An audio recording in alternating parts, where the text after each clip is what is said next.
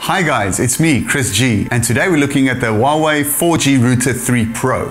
For anybody that doesn't have access to fiber, just bring your own data SIM card, be it Vodacom, MTN, Cell C, Telkom, or Rain, stick it in the router and you're good to go. The Huawei 4G Router 3 Pro supports speeds of up to 300 megabits per second. The router does well also have support for external 4G antennas. So if you're in a bit of a dead spot, just open up the router at the back, attach your 4G antennas, and you have much better connectivity. The router does also have four 1 gigabit Ethernet ports and 5 gigahertz Wi-Fi. Setting up this router is relatively simple through the Huawei AI Life app.